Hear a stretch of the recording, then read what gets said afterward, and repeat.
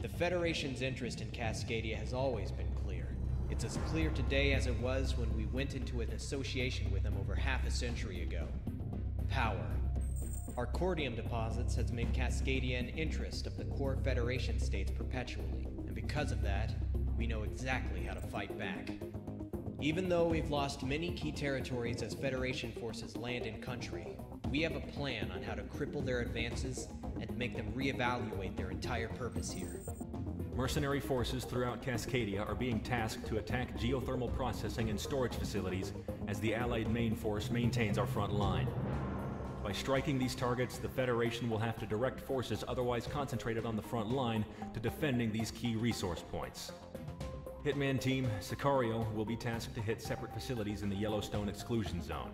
Your area of operation will be one of the main storage facilities along the Apodoc Fracture. Fly in, destroy as much of the facility as you can, and RTB before reinforcements respond en masse. It's suggested that you bring a well-rounded loadout on this one.